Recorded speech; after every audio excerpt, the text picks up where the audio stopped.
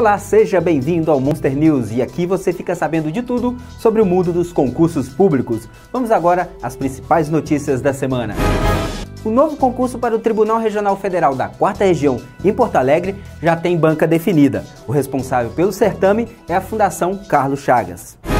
A Polícia Civil do Rio de Janeiro já autorizou um novo edital. São previstas mil vagas para os cargos de delegados, inspetores, perito, técnico e auxiliar de necrópsia. E a Universidade Federal de Lavras liberou o edital com seis vagas para o nível médio técnico.